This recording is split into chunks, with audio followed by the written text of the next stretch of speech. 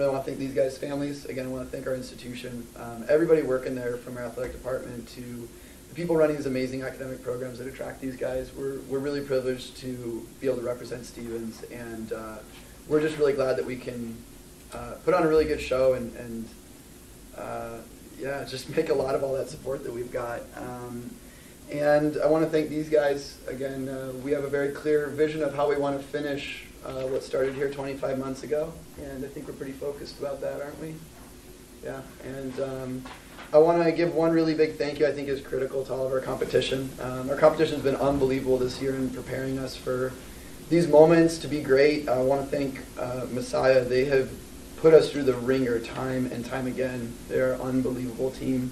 To see a team that's aligned around their values and their faith and uh, that is that tight knit, I didn't see them break apart for one second, not for an inch. And I was really, really impressed with um, the way they've competed over the years with us. And they've, they, in large part, have made us the team that we are. And I just want to thank our competitors for being just so excellent. Um, and uh, know, not just them, but everybody that we've played this year. And uh, we're looking forward to a really tough match in the finals against North Central, and uh, we are looking forward to them uh, playing some great ball, and we, we can't wait for that competition to be uh, a tough one, I'm sure, but uh, I think we're ready, aren't we? Yeah, we are. Yeah. All right, questions?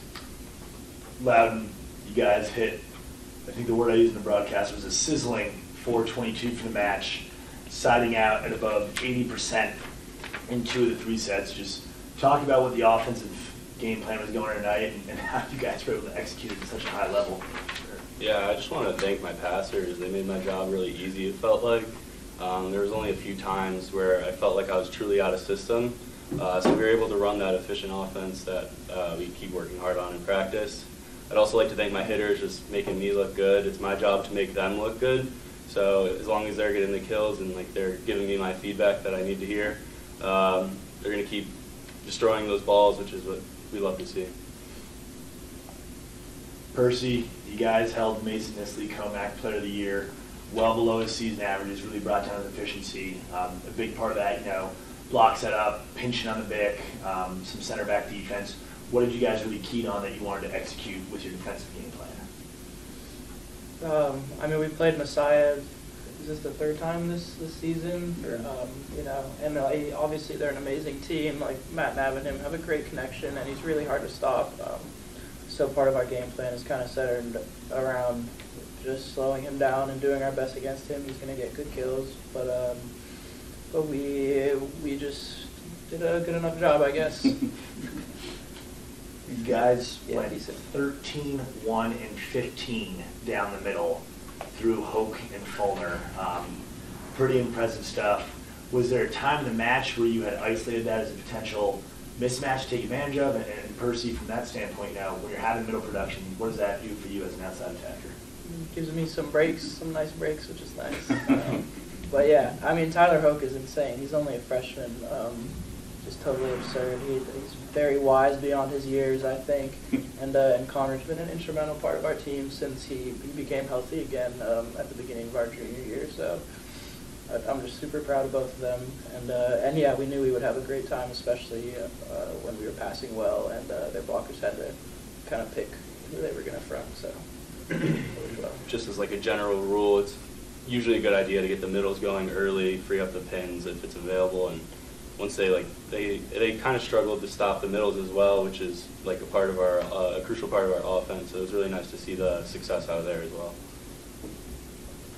Coach, I couldn't help but notice late in each set, you were pretty quick to respond with a timeout, um, even when you know the scoreboard might not typically call for one. Um, what was the intention and purpose behind that decision uh, from you and your staff?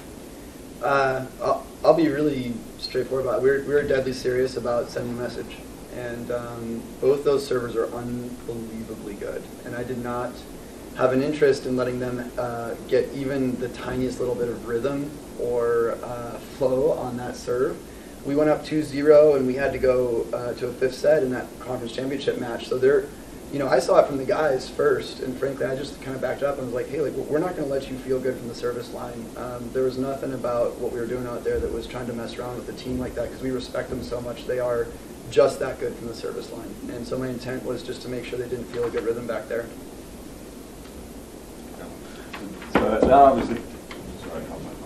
Uh, It speaks to the type of preparation that you guys have and demonstrated throughout the year. Stevens has been known to be one of those teams that does their due diligence. You're going to get, you guys have shown you give everyone the best game every night.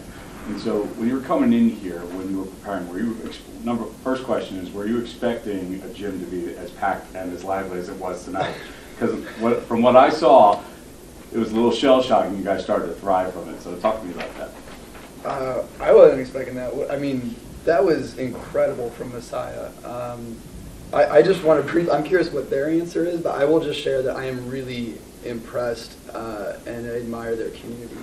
Um, I think it's amazing the way that that community gathers around those guys, and why wouldn't they? They're a really special group. I did not expect that. What about you guys? Yeah, there's some incredible school spirit. I mean, it's just like amazing that they got like that many people for like an away game. Um, I was really impressed by their school spirit. That was incredible. Yeah, me too. But also, we, we kind of dealt with it last year at Carthage in the semifinals, and uh, even when we played Carthage in the regular season this year, it's just it's unlike playing in any other gym in Division Three. It's just really absurd. And uh, obviously, in the semifinals last year, it wasn't uh, all uh, fans of the team that we were playing, but uh, it was very overwhelming at the beginning of this game, the Messiah fans. So, props to them. Just as a quick follow-up to that, coach, like, how do you get your, how'd you get your guys back to business, uh, back to the business of winning? Because obviously, uh, Percy just said that at the very beginning, it's very overwhelming. Messiah went up maybe about two or three points in the first set, but at a certain point, it was 10-4, and then there was a timeout, Messiah, and you guys were firmly in control. So what were some of the things you did as a coach to kind of get them back on page, uh, back on the same page? Yeah, I would, I would love to hear their perception of what I'm going to give you for a quick answer, is just our preparation. Like we prepared for all of this. You know, it's very intentional to play Vassar home and away. We knew they were going to have a great team.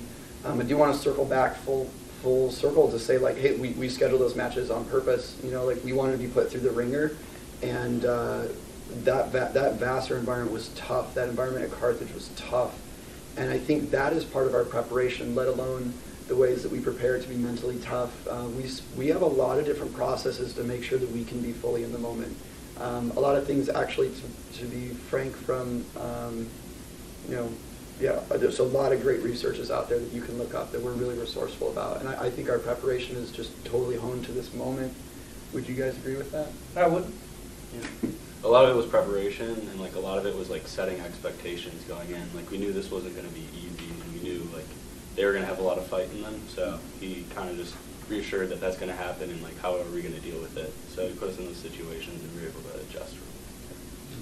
Coach, you mentioned earlier you've had a nationally prominent schedule all year long, one of the toughest in the country. Looking it up, you've played seven of the other top 10 teams in the country, and including your route in the NCAA tournament, a rematch with Wentworth, a rematch with Messiah, but we've got a new opponent waiting for us on Sunday. I know you had mentioned your excitement, but what are, uh, what are some challenges that come with seeing an opponent on the floor for the first time that you haven't already matched up with this year? Yeah, that's a great question. I, I'll tell you this much: I don't have a ton that I can answer you with because I just wasn't looking past Messiah because we just respect that team so much. We really, really do. Um, the challenge that I am anticipating is that we have some film to watch, we have some due diligence to do. Um, they have some really big boys that I think are going to be interesting to match up with. You know, for the most part, we've been able to step on the court and kind of get up on some guys. And our goal all year long, tell me if I'm not wrong about this, but I mean, not as really big. Percy's big and strong too in some way. But we really challenge ourselves to be the biggest, fastest, strongest team in the country. We really do. And I think North Central poses some challenges in that way. And these guys have worked their tails off in the weight room. We really have. And that prepares us for those moments. But the challenges that I see are that we got to get familiar with their servers. We got to get familiar with their offense. We got to we got to understand that there's some things they're doing really well for, as just as competitors. And uh, we just got to make sure that our guys don't have any surprises when they step out on the court. So we, we have some homework to do tomorrow, and we're just we're really grateful we have a day to, to do that homework. but I couldn't tell you exactly what it is. I, I just was really consumed with Messiah because that's just such an excellent team. Any more? All right, gentlemen, congratulations. Best of luck. Thank you.